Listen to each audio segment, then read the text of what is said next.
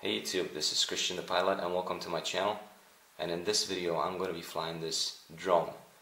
I've been grounded lately, unfortunately we haven't had the weather and uh, I fly VFR only and as such there's nothing I can do except try something new and um, this is a Holy Stone HS100.